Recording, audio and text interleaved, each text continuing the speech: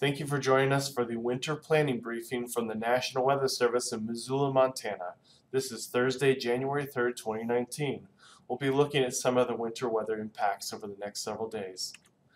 The highlights include light rain snow mix below freezing subground temperatures for low elevations of northwest and west central Montana Friday morning and again Sunday night. Also, occasional light mountain pass snow accumulations, mainly for Lookout Pass and Marias Pass, Saturday night and again Monday through Tuesday. We'll look a little closer at the snowfall. The image on the left has Saturday evening through Sunday afternoon snowfall for the, for the region. Notice the bright colors over northwest Montana denoting more than 6 inches of snowfall.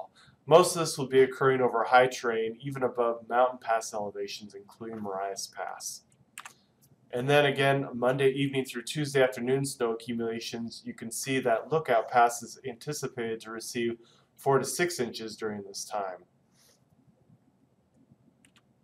And here's the winter weather threat matrix.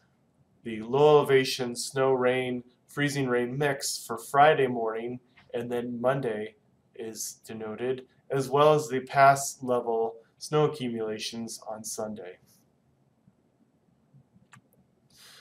Thank you for joining us. You can visit our YouTube channel to subscribe and never miss one of our briefings. Our next briefing will be Sunday, January 6, 2019. Thank you.